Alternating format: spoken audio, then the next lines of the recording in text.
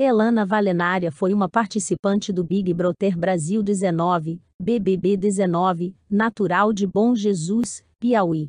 Durante sua participação no programa, Elana se destacou pela sua energia positiva, sinceridade e pela sua força física, sendo conhecida como Sister Raiz por sua autenticidade e personalidade marcante.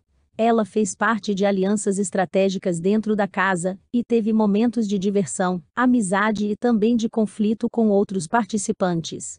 Sua jornada no BBB 19 foi caracterizada por sua determinação e sua conexão com o público, que a apoiou ao longo do reality show.